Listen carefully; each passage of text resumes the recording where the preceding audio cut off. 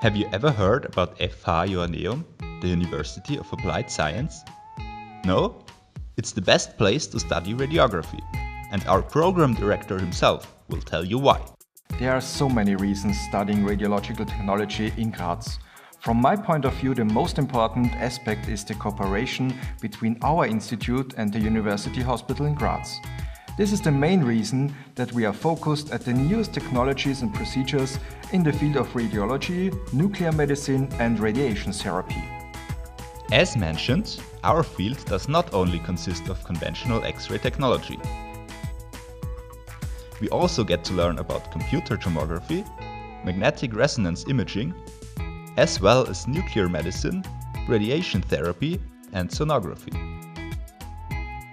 Our university is located in Austria, the heart of Europe. With more than 300,000 inhabitants and 50,000 students, Graz is the second biggest city of Austria. The beautiful landmark of our city is the Uhrturm on the Castle Hill. Additionally, you could visit the artificial island on the Mur or the Modern Art Museum, appropriately nicknamed the Friendly Alien.